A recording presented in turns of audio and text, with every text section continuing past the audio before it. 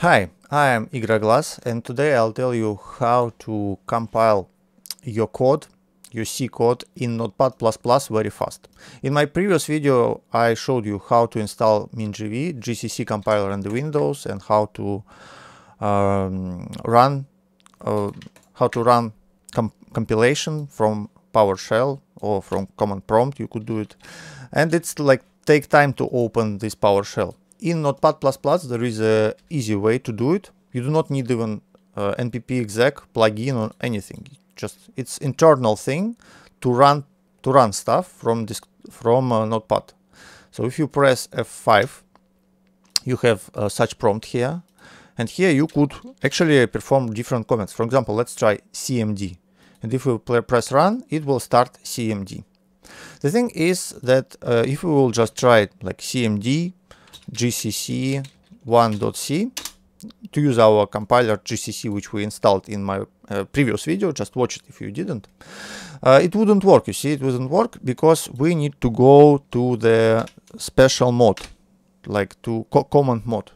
So we press cmd then slash k and then we could try uh, gcc but you see it didn't work. Why it didn't work? Because we need to change our folder first so we go here back and we say uh, cd and we should uh, get the proper way to this folder. We just just right click to the file in Notepad++ and full file path to clipboard.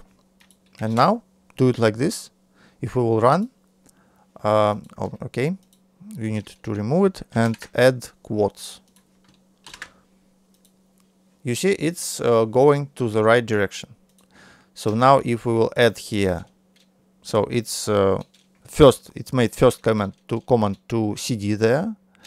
And now we could we press two ampersands and say to him it's like end and do another thing. So gcc 1.c run. You see? And it's compiled it's compiled our program so we could even write it immediately. So after gcc 1.c, we add another command and say like uh, run our program. It's called A. We could add exe, okay. Run. Okay, it's uh, stupid security, but it doesn't matter. You see, it works. It works. So, um, by the way, you could change it from K k it means it will uh, when you run the program it will return to the terminal. If you want to close it right on. You use c. And use if you use c so the program it will run itself and it will close. So if we will add here getchar so it wouldn't close immediately. Like this. And run it with c. You will see your, your program. Um, one second. Yeah we should put getchar before. Uh, return of course like this. Let me make it bigger. Yeah. You see? Hello world. And if we press uh, enter twice to remove getchar I just show it to you to so you will see how it, uh, how it goes. It will close so yeah. There are two different modes like C and K. So for fast testing, it's better to use C, but for this demonstration, I use uh, K, so it will return back. And now we also want uh, to run it manually. So even when we press F5, then we need to press run. So it's kind of two actions. How to run it immediately?